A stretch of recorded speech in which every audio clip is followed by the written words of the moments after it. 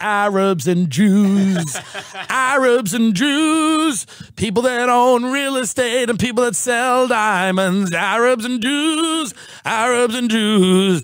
They don't get along, but they're not cops and firefighters, Arabs and Jews, Arabs and Jews. They're not pigs with flesh diseases like my Irish pig family.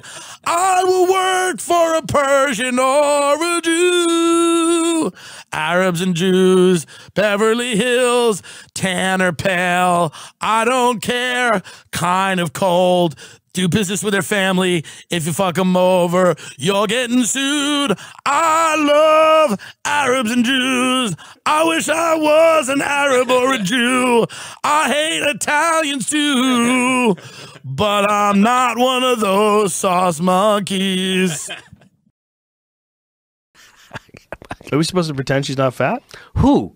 Who? Who are we talking about? Who are we talking about? Have you ever seen Tim Dillon do his version of uh, Meghan McCain? No. Oh, I'm gonna get you something beautiful right now. Oh, really? I'm gonna show you Oh, something I- amazing. What are you doing here? Watch this. Play it from the beginning and and give me some volume. Okay, play. it. Hit. Watch this.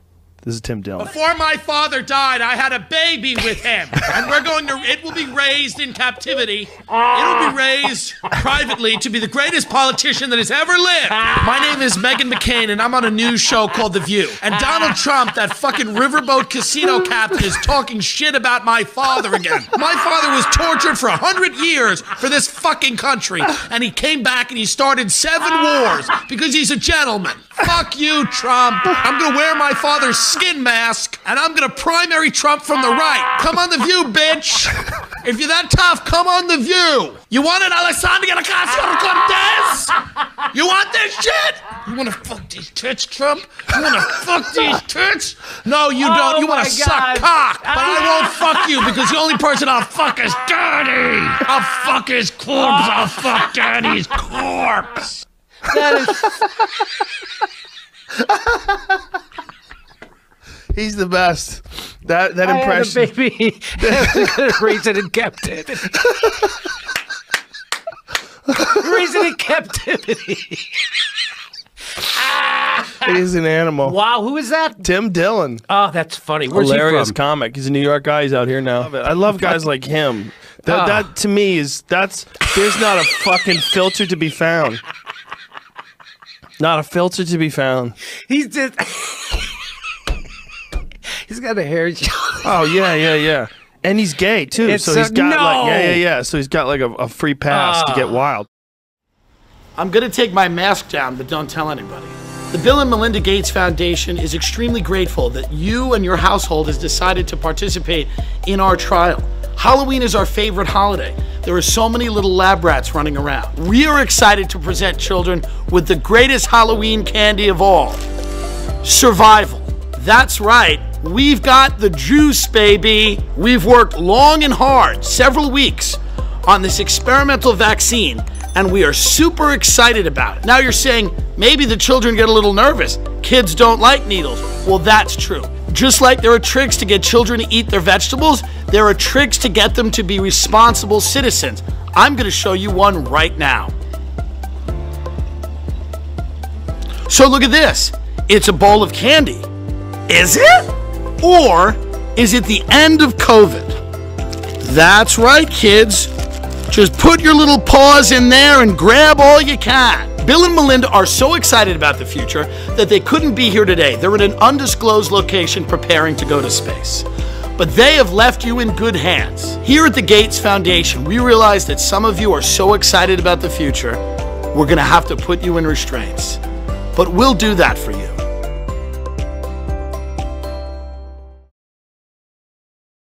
They're a perfect conversation starter. You're sitting at the bar, you see a attractive lady or gentleman, and you go, "Hey, you know what I like to do? I, I, you know how I like to start a conversation? I go, look at my watch. Look at my watch. Let's do it. We're on a date right now. Okay. I've got a, a Vincero, Vincero. Vincero. I go. This is how I would start if we're having a date. Okay. Not a date. We're at a bar. Oh, okay. You know what I mean? Gotcha. I'm a virile, red blooded American male, and you are a beautiful woman. Okay. Ready? Mm-hmm. Hey, look at my watch. Wow, that's really nice. Where'd It's you- a Vincero watch. Look at it. wow, it's a nice. Do you want to take a photo of it? no, I'm I'm good. I think. This watch is stylish and bold, wouldn't you say? I guess yeah, it's a nice watch, man. It is a nice watch. It's a beautiful watch. It's got over 23,000 five star reviews on their website. Go and read for them yourself. What are you, what are you doing in town? Oh, uh, there's a conference for. Keep uh, looking at it. Oh, Please keep looking at it oh, while no, you yeah, speak. you have it. Um, it's a. Uh, I'm in a town for a conference. It's a dentist. It's a dentist conference. We're all getting together for the. Do I have to keep looking at the watch? I would prefer it, yes. we're staying at the hotel downtown. We're staying at the Ace, and um, this is making me really uncomfortable that I just have to keep. It's only making you uncomfortable because you don't have a Vincero. I have more watches in my hotel room. Would you like to go and see them? Yeah. See? Works. And that's the way she said, yeah, like, yeah. I feel like there are people that don't understand how much Magic Spoon has changed my life. You know, before Magic Spoon cereal, I was a cannibal. I've never even told you this. I didn't know that. I used to eat people. I would eat the skin of a person. I would cook it and eat it. And it's uncomfortable to discuss this. But and a few of those people I, I killed, hookers and truckers, and I would cook them. And I would eat their flesh, which was keto, technically. Maybe not. I think it was. Some of them had sugar in their blood, probably.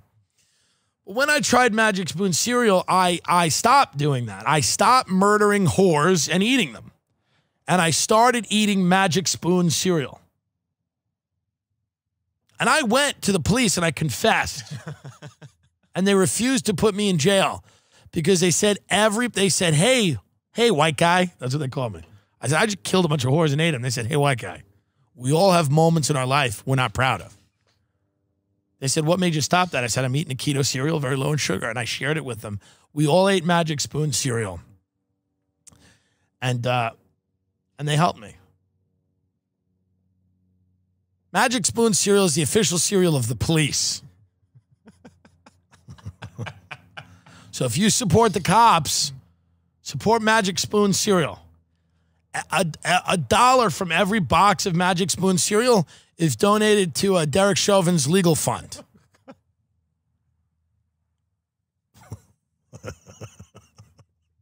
Sometimes I do it just so we get the call.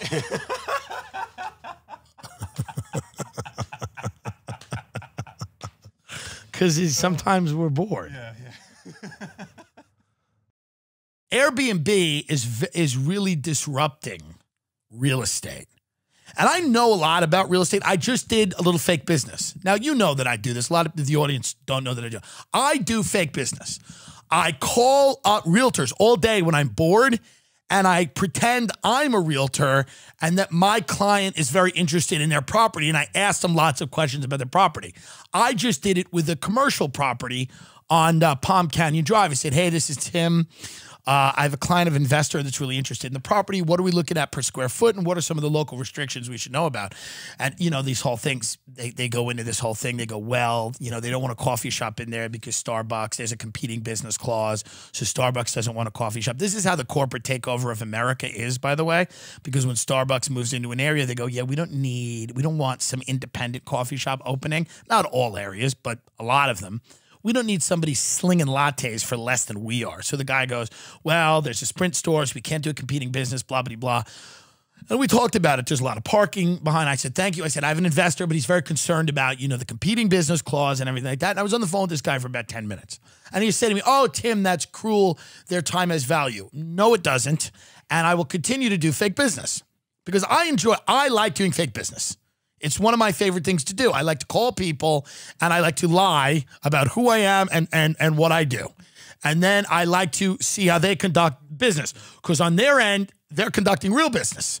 I'm conducting fake business. Now, never the two shall meet. We've gotten to the point where I was, we were almost, one of my clients who doesn't exist was almost going to put an offer on a house. this was last week. I was, I've been on the phone with this realtor for like 45 minutes, three times in a row. I've had to block her finally. She doesn't know what happened. Sometimes I have to block the people because fake business gets very intense. Fake business people start drawing up contracts. I mean, she was calling appraisers. She was going to have inspections done. You know, I was representing a very motivated overseas client. Now, sadly, that client died of coronavirus before we could go see the property. That's not my fault. And I tried to explain that to her, but she was kind of confused and started saying, oh, this, you know, blah, blah, blah. You, are, are you real? Is this real? Cops, FBI, whatever, blah, blah, blah. Blocked. Blocked. I'm helping train these professionals. Do you understand? Yes or yes? I, by calling them, people need practice. So this schmuck over there on Palm Canyon, oh, I did use my real name, by the way. Like this is Tim Dillon. And sometimes I make up a firm name. Sometimes I use a real firm name. Sometimes I just say, this is Tim Dillon with Futures. He goes, what? And I go, Futures Investment? And he goes, okay. You just go, okay. I go, yeah, all right. I go, yeah, you got a commercial listing on Palm Canyon on the corner. I'm wondering what we're looking at price per square foot. What's the parking in the area like? What's the competing business clause? Well, any local restrictions we should know about? I have a team of investors that are looking to expand into this area. Many of them, uh, uh, sometimes it's a franchise, sometimes not. But I'm just, you know, it's an investment group. They're very interested. They love the visibility of the location. Oh, he goes, it's a great location. So they love the visibility of the location. And see, right there, we're beginning to do fake business because then he goes to his wife and he goes, Hey, I just got a call from a guy that may be interested in this. And then he tells his secretary and then he tells his partner. So I'm in.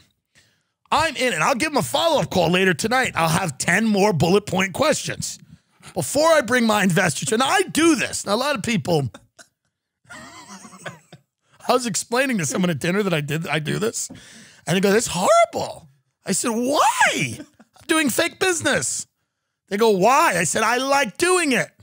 So I don't have a real estate license and I can't do real business, but I at least can do fake business. they said, that's pretty sick. I said, maybe you're sick because I want realtors to get the best professional. I want, you golf a lot, right? Mhm. When you golf, when you golf every day, are you better at it? Yes, absolutely. Now that doesn't ma- now even that includes going to a driving range. Sure. Right. Correct. Right. Sometimes I see golfers swing clubs in their backyard. Mm-hmm. Helps. Helps. Doesn't matter if it's real or fake. What matters is that this guy's going through the moat. The next guy to call him might be real, but I'm going to beat that guy out. I'm going to do a competitive offer because I conduct fake business well, and many people don't. A lot of people do things. People go on fake diets. I've done a ton of them. People do all kinds of things that aren't real. People are fake comedians. Mm-hmm. They pretend to be a comedian for a decade and impoverish themselves and live on a floor and walk dogs. Fine. That's all. When you go home to your family for Thanksgiving and you go, I'm a comedian, they're eating and they're like, no, no you're not. You're a pretend comedian. You're a fake comedian.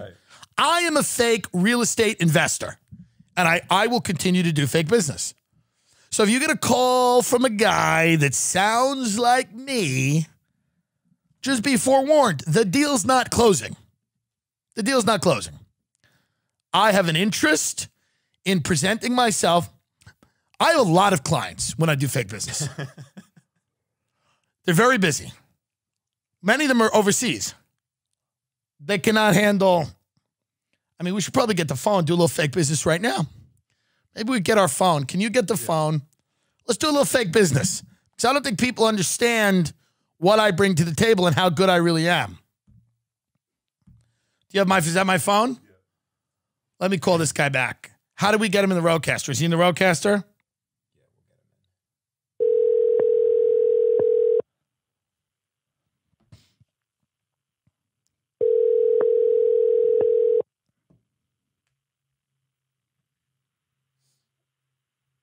Hello?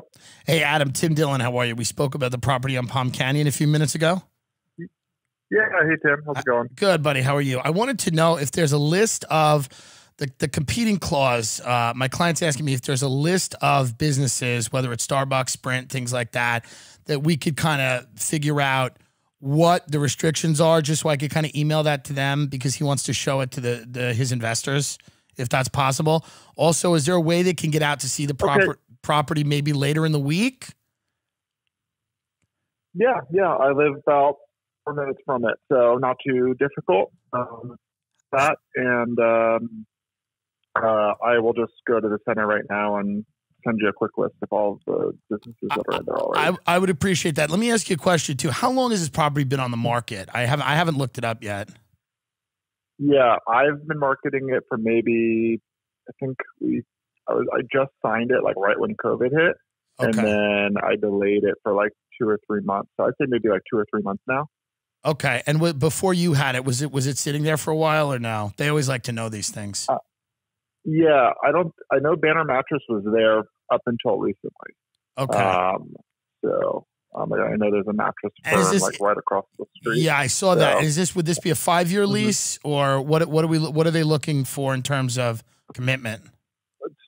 Yeah, it really just depends on the the tenant and the rate, and things like that. Obviously, the longer the the commitment, the better we can do on the rate. Um, but um, you know, I think they're open right now. Okay, and I, and I imagine they're five years. I imagine they're open to some form of negotiation at you know given the climate. Of course. Of Okay, course. well I appreciate that. We're I here, have we're here to do deals. yeah, me too, but I mean me too. It's a little wild out there, you know. Are you guys mainly definitely. commercial? You do any residential? Um, I do a bit of both. Okay, So, good. Yeah, You got to be kind of a generalist out here. So, I, I agree. Yeah, a lot of people are starting to get interested in this area, and I think it's because you know LA's had a lot of problems, and a lot Oh, of my yeah. a lot of my clients. I do business primarily in in in Los Angeles, and a lot of people are starting to look at this area, and um, you know a lot of them are are, are excited about maybe jumping into uh, something here. You know, because the high season. I imagine it's what January through through June. Uh, yeah, January through April is our high high season. Right. Um, but pretty much like right now, like September through April. Um, you know, so we have kind of we kind of have like a shoulder mid season, uh, Right. which is September through December, Right. um, and then January through April just crushes, and then uh, Coachella is obviously and Stagecoach are in April, and that kind of, you know, and we have Memorial Day weekend, July Fourth, Of- even during the summer, we do pretty well. Of course, So- I appreciate that. Well, listen, I have you guys. I have your website. I'm going to shoot you an email, um, just again introducing myself, and then if you could just get me a list of some of those competing business clauses, just so I can show it to them, and uh, hopefully they'll get out to see it sometime uh, next week. You know, they're they're super interested. One of them lives out here in Rancho, and uh, they pass it all the time. So they they had me just kind of reach out to you and see what was going on. But Yeah, they're they're sure. pretty motivated, and again, I think it's all about you know how restrictive those clauses are. Yeah, I, I think they're going to be pretty flexible. So I'll, I'll shoot you the businesses, Yes. and uh, we'll see if we can do something. Okay. I appreciate it, Adam. Thanks a lot for your time. All right. Thank you. So I do, it's fake business, and I'm doing it well. I'm doing it well. Let's be honest. I'm doing it well. I'm protecting the interests of my clients. I'm prote- Am I not? Am I not protecting the interests of my clients when I conduct fake business? My fake clients are important and they need to be protected. I want them to have the maximum amount of freedom in any given situation. You understand? Start doing fake business. It'll change your life. I'm telling you that right now. Start doing it. No one can stop. You don't need a license. You just need a phone and a computer, and you can start doing fake business. Set up a fake email address. I have one. Start doing fake business right now. It's the gateway to real business. Are you bored? Are you sitting around at home? You don't know what to do? Build a fake empire of whatever business you choose. you don't need any type of license to do this. You can just call people and be the person you've always been meant to be. I think I've always meant to be sort of a rainmaker, putting together deals, guy with a six pack and a huge cock, fucking people of every gender, doesn't matter, maybe connected to intelligence, maybe not, power broker type of guy. And that's what I, now, of course, I, I'm not that. I'm negotiating commercial real estate mattress transactions in Rancho Mirage. It doesn't always, fake business doesn't always work out the way you want it to. I want it to be fake CIA. I can't do that. But I'm a fake realtor in the fucking desert. Even your fake life will not be as great. You see? Even your pretend, even in my pretend life, I'm just a shitty realtor looking to sniff out a buck. But I know who I am. I know who I am in my real life and my fake life. And that's what's the most important thing. Set the expectations for your fake business high but reasonable. This is my advice to you. Gary Vaynerchuk tells you to start a real business. Oh, I say no, no. I say start a fake one. Start a pretend business. You can do everything that you will do in a real business. There's much less risk. Sure, these people get upset after a while after you've called them 17 or 18 times.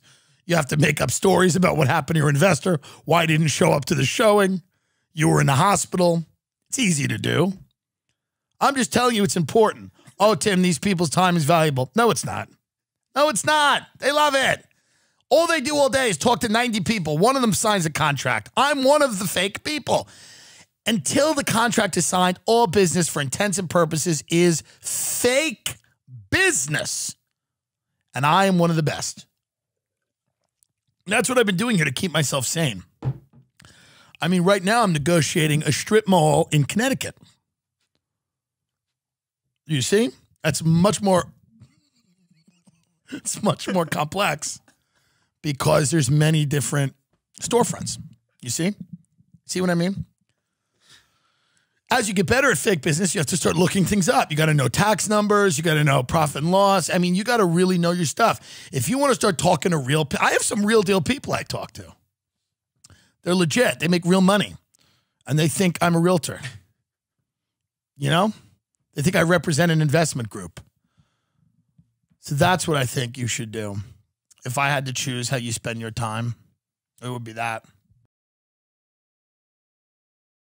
Ridge Wallet is a spectacular way to pare down a lot of the unnecessary shit you keep in your wallet all the time. I'm telling you, right, I don't know how else to advertise this wallet. I, I, I don't know. I'll tell you a story that might drive home the fact.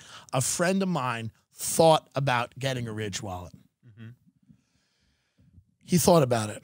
He thought long and hard. He decided not to get it.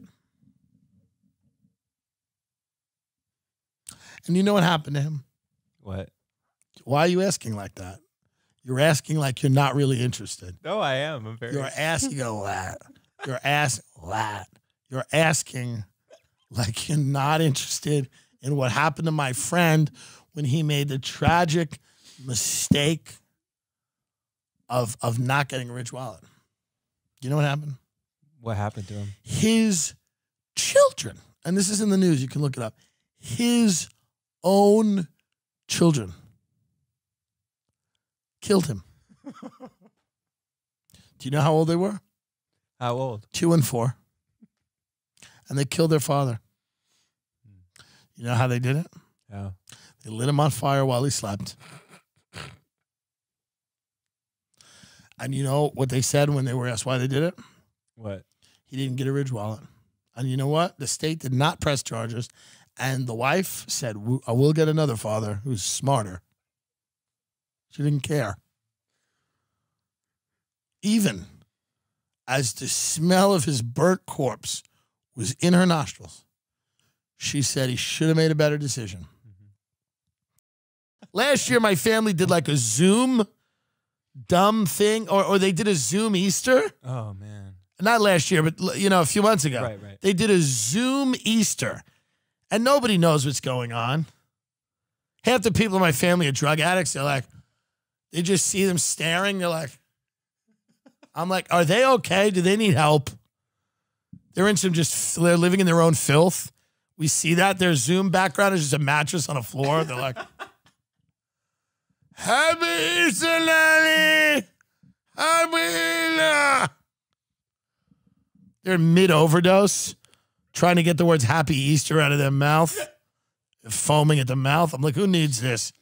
Get me out of here. I didn't even go into it. Somebody screenshot it and sent it to me. I said, I, I will not be participating. By the way, listen to this. My stepmother sends me a thing today. She sends me a link. Goes, my mother's turning 80. Can you make her a video? What do you want me to wish her happy birthday as Epstein's temple? What do you want me to do? So I, they, you know these things now where it's like somebody's mm-hmm. birthday, everybody has to make a video and send it to them. Yes. Hi, thinking of you. Wish we could be there. So I just, you know, I have my glasses on. I'm like, hey, Dorothea, we love you. Stay strong. I said, stay strong. Like she's the woman has cancer. Right. It's just her birthday. My black glasses on. I'm like, Dorothy, I love you. Stay strong. Better days ahead. This is what I say. I don't even realize what I'm saying. I go, stay strong. Like literally, she got diagnosed with a disease. I'm just wishing her happy birthday. She's actually in great health, probably in much better health than me. Imagine that a fat guy telling you to stay strong. Like I'm, I look like I'm literally dead, and I'm like, Dorothea, stay strong. Better days ahead. I go, better days ahead, and then I go, stay safe, and then I, I swear to God, I go like this. I go, see you on the other end. and then I finally say, happy birthday. It's the most cryptic and disturbing message. I didn't know what to say, and then I'm like, done. And then I just hit send because I didn't want to edit it. So literally, the whole video is, hey, Dorothea, stay strong. Better days ahead. I'll see you on the other end. Out. And then probably cuts to somebody who's like, happy birthday. We love you. And it's li- it's literally sandwiched in between two peppy happy birthdays. It's like, happy birthday, happy birthday to you. And then they cut to me and I'm like, Dorothea, stay strong. When I make it, I'll send word for you. Stay safe. Better days ahead. Just in black glasses. And then it cuts to somebody being like, happy birthday. How old are you now? I look like I'm in a safe house. I'm just laying on, on my bed like this uh, top. Hey, happy birthday. I, I can barely breathe. I think I have COVID. I'm like, happy birthday. I smoked too many cigarettes last night. I'm like, happy birthday. Stay safe. Better days ahead. Hope to see you on the other side. It's just the darkest. You're wearing sunglasses. I'm wearing black sunglasses because I was outside in the pool, and then I get this message like, "Hey, you gotta, you gotta wish this woman happy birthday because she gives a fuck." They asked my cut. They asked a couple of my cousins who are on heroin. They're on smack. They've met her twice. When when you have a divorced family, nobody knows who anyone else is. I'm glad that Yelp is now solving the problem of racism, so you can go identify uh, if the if the waitress at Applebee's was. And by the way, aren't these major corporations going to start to sue Yelp for this? oh, interesting. Wouldn't wouldn't you sue Yelp? Yeah, maybe so. Yeah. It's saying you I might mean- you might have to link to a news article from a credible media outlet, but I mean, Good luck finding one of them. a credible media outlet. This is what like. I don't know. I mean, they don't. What are we doing here, folks? Just eat your food and move on, you fat fucks. Jesus Christ. Green cactus is transphobic. Just eat the taco. I mean, for the love of God, this is really just creeping into every fucking area. It's boredom. This is Yeah. boredom. People are bored and they and they don't know what to do and people at Yelp are like how do we capitalize on all of the anti-racism that's floating around? Let's let people rat out restaurants they feel are racist. You should open a restaurant with the best food at the best deals and make it like genuinely the most offensive restaurant ever. Like it should be an oppression themed restaurant. Swear to God, the table should be little gas chambers, and the people that serve you should be SS guards, and all the performers should be slaves. Slaves, and then to the side of the restaurant, like the people that check you in are Irish and they haven't eaten because of the potato famine, and they all look fucking inbred, and there should be them. And then there should be a back garden of the restaurant called the Gaza Strip, where you, you don't even get food. They just throw the, the, the leftover food they found on the floor, they throw it at you. And if you try to get water, they hit you with a stick. And if you price that restaurant up fairly, if you price that fairly, people will go. If the food is good and it is priced fairly, I will straight up look at Ben and go, We're going to Nazi slaves tonight. We're going to Nazi slaves. You know I like the buffalo chicken wrap because it's nice. They use the chunky blue cheese. We're going to Nazi slaves. So I don't care if it makes you feel uncomfortable. And we're eating in the back garden of Gaza Strip because of COVID 19. That's what they should fucking do. I mean, if I was a billionaire, I would just open the most offensive restaurant known to man and see what Yelp did with that. How do you like this, Yelp?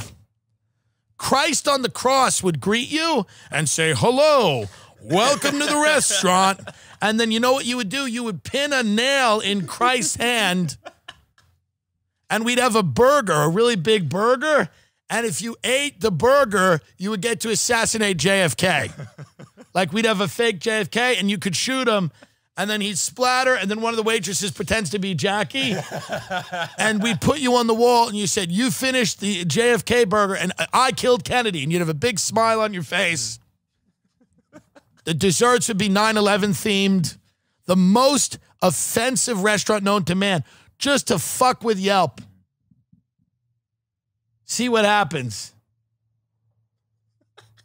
I mean, just just crazy bad. Just crazy bad. We would hand out crayons and and and and pieces of paper to the kids, but only if they drew Muhammad. Do you understand? This restaurant would last maybe a month. In a mature country, this would be a hilarious restaurant. In a mature country, this would be hilarious. If we were a mature country, you should be able to go out and eat a meal in a restaurant that makes fun of genocide in a fun way. Now, I guess I understand the argument against this type of restaurant too. I'm not, I don't, I'm not saying that I don't understand that, but I'm just saying it's something to, hey, it's something to consider. Okay, as the only gal on the panel who held up a Boston market this weekend, I'm going to talk a little bit about guns, okay? A lot of people in the media have never shot a gun and they've certainly never masturbated with one. They have no idea what the fuck they're talking about. Beto O'Rourke, my gun's not for sale, but my pussy is. And the price is PF Chang's. My father and his friends used to hunt me in the backyard. I would run around and they'd shoot at me. And my father said, if we hit her, the only thing that's going to come out is whipped cream. He was hilarious. The AR 15 is the most popular gun in America, and it's the only thing that's ever made me come. I like guns and I put them in my pussy. You don't tell me what guns I can own or what people I can own. My father was tortured. He'd never deny anyone else's right to kill. The only one who can take my guns away is daddy. If Joe Biden tries to take my guns, I will, I will fuck him right out of my house. Uncle Joe, respect me. My mother used to say to me, Meghan, you should look more like an AR 15, skinny. And now I have seven personal trainers, and three of them have killed themselves. I killed Jeffrey Epstein.